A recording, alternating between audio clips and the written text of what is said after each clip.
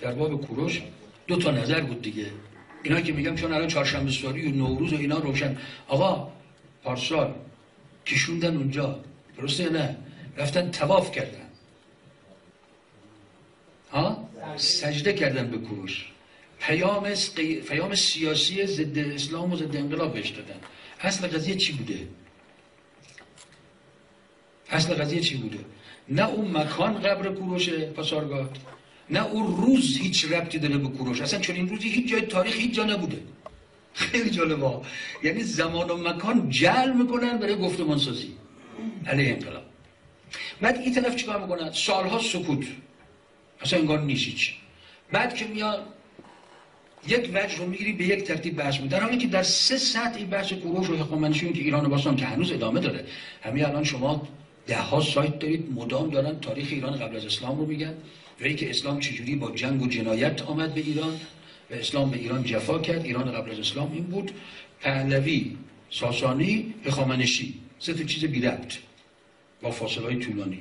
تبدیلش کردن به ایدئولوژی سلطنت. در حالی که اینقدر ظرفیت داشت که ایدئولوژی ضد سلطنت و ضد غرب باشه. یکی فرض کنیم این روایت مرحوم آقای طباطبایی و اون ابوالکلام آزاد و اینا که آقای کوروش ذوالقرنینه. این پیامبر الهی یا در حد انبیا بوده. این مصلح بزرگ بوده. و کوروش اولین امپراتوری جهانه و این امپراتوری عدل و توحید و حقوق بشر حق الناس بوده. این روایت آقای تباتبایی و بعض از آقایانه.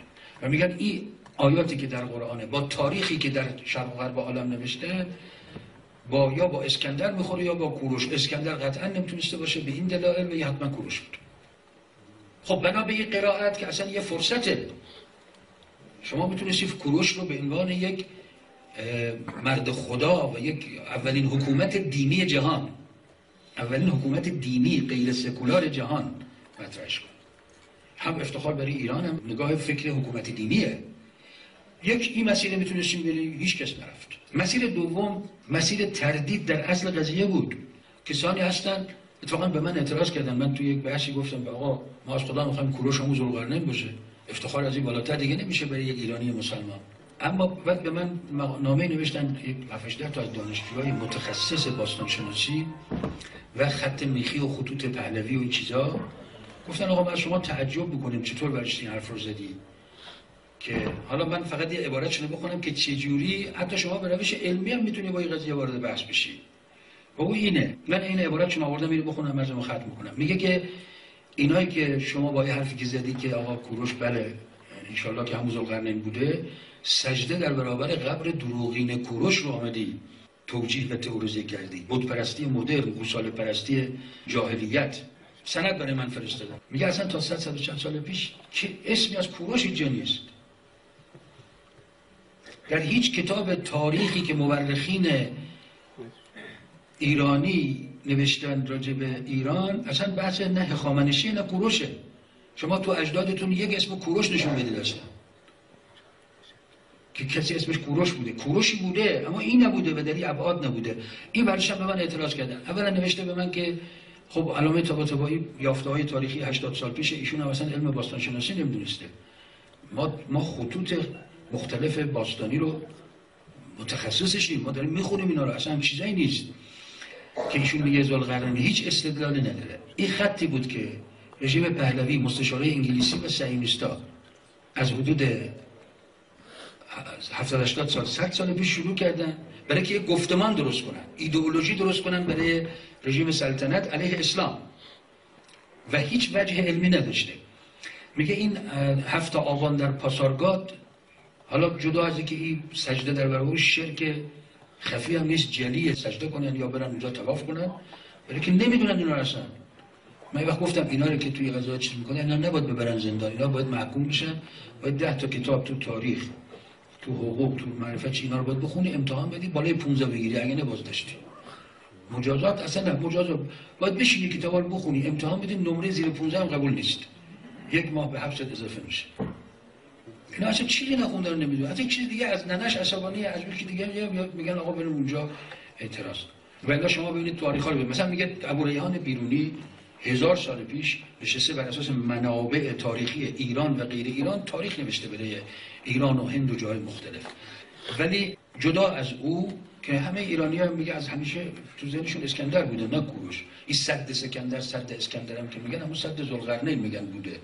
حالا من اصلا این حرفا رو نمی‌خوام دارم میگم اعتراضی که این بچه ها به من کردن. میگه آقا شما اصلا کتاب ابوریان هم نخوندید که برمیداریم میگی کوروش هم زلقرنین بوده. میگه کوروش ما دو تا داریم. یه کوروش واقعی بوده. ایشون یک حاکم محلی بوده در کلدان. اصلا نه قدرت بین المللی داشته نه در آزادی یهود و بخت و نصر. هیچ کدوم نبوده همچی کسی. این تنها چیزی که ازش تو تاریخ هست. یه کوروش فرضی هم ساختن که اصلا وجود خارجی نداشته و حتی هخامنشیش که میگه شما در هیچ کدوم از این کتابات اسم هخامنشی رو نمی‌بینی. مثلا ابو ریحان از سلوک از اشکانیان از کی از اینا اساسانی همه حرف هست از هخامنشی هیچ حرف نیست. به من میگن که شما چرا بدون که دقیق مطالعه کنی برش اینا رو گفتی و توجیه کردی اینا رو؟ میگه ابوریحان بیرونی از پادشاهان کیانی، ساسانی، اشکانی و دیگران به تفصیل بحث می‌کنه. هیچ جا اسم خامنشی نیست. قضیه کذب بازگشت و قضیه دروغ بودن بازگشت یهود به سرزمین هایشون اینم سند تاریخش اینه که نتیجه دیدگاه و کار بطلمیوس فیلدالفیوس بوده. نه اون حرفی که مورخان یهود میگن که کوروش منجی یهود بوده. از دست بخت نصر میگه ملاطفت بطلمیوس در آثار, باق... آثار باقیه نسخه عربی ابوریحان توضیح داده. به من گفتن تو همون قد نرفتی اینو بخونی بعدش که آمدی اظهار نظر کردی. عبارتش اینه میگه بطلمیوس تقاضا کرد. یهود آزاد باشه در ازایی که یهود آزاد بشه تقاضا کرد که یک جلد از کتاب تورات و ترجمه از عبریشون می‌خوام. هفتاد و دو نفر رو به طور مساوی از بین اسبات دوازدهگانه بنی اسرائیل انتخاب کرد. به صورت جدا جدا بهشون گفت بدون توانی با هم هر کدوم تو چند تا ترجمه از تورات بیاد که ببینن توانی نکرده باشید یک چیز دیگر بگی به اسم ترجمه. 36 نسخه متفاوت ترجمه از تورات آوردن. دید همش تقریبا یک جوره. بعد راجع به نفوذ خرافات و کوروش پرستی در دنیای مجازی و حقیقی میگه اصلا هفت روزی به نام هفت آبان اصلا در هیچ تقویمی هیچ جذب نشد. نه به نام کوروش نه به نام غیر کوروش. اصلا این روز جعلی دروغ مال هم اواخر درست کردن. چون تو فضای مجازی هر چی بگید همه میپذیرن. بعد میگه که یک جمله هایی هم دارن از کوروش نقل می‌کنن اصلا جمله کوروش نیست. اصلا از کوروش چیزی به صورت نموده که بخوان جمله نقل کنن. همون روز یک جمله از کوروش در بعد میگه همین الان در سایت فلان ورزشکار فوتبالیست یا فلان هنرپیشه برشته این جمله رو نقل کرده که کوروش فرمود ای پسرم نیکوکار باش نه بدکار زیرا زندگی انسان جاوید نیست و هیچ چیز از کردار نیک لازمتر نی. کوروش بزرگ. میگه بابا این روایت امیرالمؤمنینه. تو نامه سیره که نهج البلاغه همطور جمله جمله بعد میگه 265 هزار نفر بازدید از یک سایت کپی می‌کنن. او از این او از این. عوام فریبی و تاریخ سازی جعل تاریخ برای غذایا و قضیه پاسارگاد هم میگه اصلا همه تنها سندی که در مورد پاسارگاده تنها احتمالی که مطرح شده در تاریخی که این قبر مادر حضرت سلیمان علیه السلام باشه چون اونم سند قطعی ما اصلا هیچ اشاره ای در متون عربی فارسی غربی شرقی و نوشته های قرآنی نیست. تمام مورخین بجز مورخین صهیونیست و یهودی هیچ کدوم هم چیزی نگفتن. یا هرودوت که اونم مورخ یهودی یونانی است که دو تا جمله گفت ای رو برداشتن تئوریسین های سعیونیست و انگلیسی و رژیم پهلوی و عواملشون همون رو سر دست گرفتن. بحث می‌کنه. بعد یه چند تا سوال مطرح می‌کنه. می‌خوام بگم اینا ما نرفتیم. اینا رو باز خود ایتیپا گفتن. اینا رو باز جریانایی که آخه این جریانای ایران باستانی دو جریانن. یه دی ضد کوروش هخامنشی یا اصلا میگن اینا وجود تاریخی نداشتن دروغه. یه عده در حد کوروش پرستی و خامنشی و اینا می‌برن که مرکز عالم بودن می‌برن بالا. ما تو هر دو وجهش می‌تونستیم کار کنیم نکردیم. بعد ده ها هزار نفر میام تواف می‌کنن اونجا. بعد باید با نیروی انتظامی بریم در که شما اگه دو کلمه درست با مردم حرف بزنید نیروی انتظامی نیاز نیست اصلا. اغلب اینا نمی‌دونن این قضیه چیه.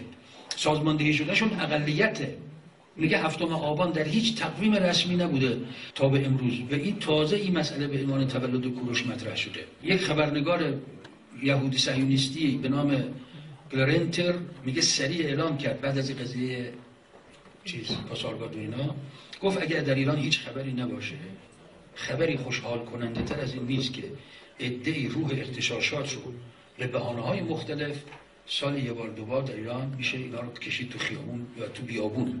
این بهترین خبره. مقبره کوروش مرده ترین جای تاریخ ایران بوده. اصلا کسی نمی‌دونست اینجا هست. فقط عکسش بود. که اینجا تبدیل شد به یه جایی که شعار بدن علیه انقلاب و اینا شعار نغزه نه لبنان برن اونجا بدن این معلومه تئوری صهیونیستی کوروش چرا که اولا که خود کوروش غزه و لبنان رفته گرفته. چطور نغزه نه لبنان؟ هخامنشی گرفته اونجا اینا همه شرق اینا کلا گرفته. بعد ساسانی و هخامنشی مدام با غرب در حال جنگ بودن. شما که نوکرای غربی. اینا رفتن تا آتن رو گرفتن. مدام ایران و غرب روم روم غرب بوده ایران شرق. مدام با هم در حال جنگ بودن. شما که نوکر غربید هخامنشی و ساسانی ضد غرب بودن. اینا قدرت شرق بودن. بعد از من سوال کرده. میگه این که در اسرائیل ضرب سکه کردن عکس ترامپ با کوروش. کنار هم. که اگر کوروش بیچاره ببینه ترامپ جا تو سکه در میره میره فرار می‌کنه کوروش. میره میگه هر دیگه باشم توی سکه نباشه. علتش اینه که ترامپ گفت می‌خوایم قدس بکنیم پایتخت اسرائیل و سفارت بره اونجا. این خاخام های صهیونیست این قضیه رو به عنوان مهمترین مسئله مطرح کردن. و آخرین عبارتش میگه آقا اصلا هخامنشی و زرتشتی مرده دفن نمی‌کردن. اصلا قبر ندارن اونا. در زرتشتی ها و ایران قبل از اسلام مرده دو جور گوش برخورد میشن یا طبق آین زرتشت که الان هم هست. میگذاشتن مرده ها رو تو یک جایی بیرون تا این همینطور بپوسه. الان یه جایی هست توی کنار یزد نمی‌دونم رفتین یا من رفتم دیدم یک جایی خیلی بلندیه گوده. مرده ها رو همطور نشسته یا به شکلهای مختلف تو فضای آزاد تا بپوسه. کلاغا بیان نمی‌دونم کرکسا بیان نه تمام شه. خاک نمی‌کردن اصلا. روش دیگه هم این بوده که میسوزوندن. چطور میشه جنازه کوروش رو جایی دفن کرده باشن؟ که هم خلاف آین زرتوش بوده هم خلاف ایران قبل از اسلام بوده. اصلا دفن میت نداشتن. اعتقاد زرتشت به سوزاندن مردگان و این و چطور شده کاهنان بزرگ آمدن برای کوروش قبل ساختن؟ به من می‌گفت که شما چطور اینا رو مطالعه نکردی ورشتی رفتی گفتی که بعد قبر کوروش و اینا. میگه پندهای وندیداد از متون مقدس زرتشتی. میگه ویران کردن گورها واجب است. چرا که محل گرد آمدن دیو هاست. شبیه وهابی ها که قبل میگه اصلا زرتشتی یا ایران قبل از اسلام قبر رو خراب می‌کردن. گفتن مرده دفن نکنیم تو قبر. یا بسوزونن یا بذارن بپوسه بیرون. ای که میگه شما گفتی که کوروش ممکنه تو موحد و یکتاپرست و مرد الهی بوده باشه. میگه خب شما این اسناد این متونی که در تاریخ هست نخوندی. پرستیدن مردوک بت بزرگ در لبنان توسط کوروش. چطور با توحید سازگاره؟ در آیین زرتشت میگه کیفر کسی که مردگان را به خاک بسپارد تا شش ماه به خاطر این گناه 500 تازیانه باید بخوره. بعد رفتن آیین زرتشت کوروش رو دفن کرده. اگر کسی خلاف این بکنه دفن بکنه کیفر شکستن پیمان در آین زرتشت جواب اهورامزدا اینه که گناه بزرگی است نزد بدهکار تاوانی 300 برابر به همان اندازه پیمانی که شکسته است. بنابراین چیزی به نام قبل کوروش اصلا دروغ تاریخی هم هست طبق اظهاری که اینا کردن و به ما گفتن. من فقط عرضم اینه که از کوروش ایران باستان از ولنتاین از نمی‌دونم اون که دیگه از درویش و تصوف از هجاب از هشت مارس. همه اینا همه اینا غیر از اینکه مشکلات تاریخی و تحلیلی و علمی هم داره از طرف خودشون همه اینا علیه ای تفکر سرمایداری لیبرال فحشا محور غربه.